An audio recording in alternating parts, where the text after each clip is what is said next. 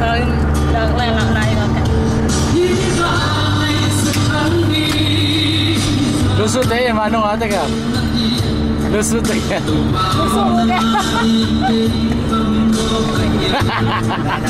Lu